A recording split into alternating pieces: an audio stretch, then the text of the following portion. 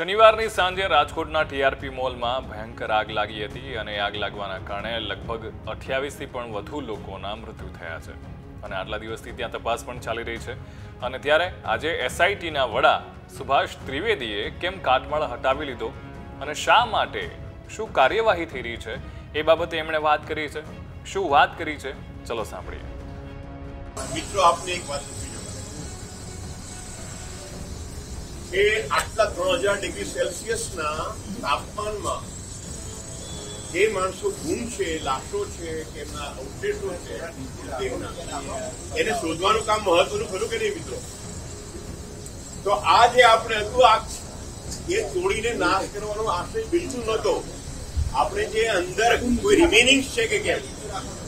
જે ગુમ થઈ ગયેલા માણસો છે, એના કોઈ પ્રકારના અવશેષો છે કેમ? જેના આધારે આપણે ડીએનએ લઈ શકીએ. અને ડીએનએ ના આધારે એફએસએલ દ્વારા આ ડીએનએ ની તપાસ કરી અને જે ઘરના માણસોના માણસો ગુમ હોય સમજશો ને એને આપણે એક અહેસાસ આપી શકીએ, એક સત્યની માહિતી આપી શકીએ, એ આપી દીધી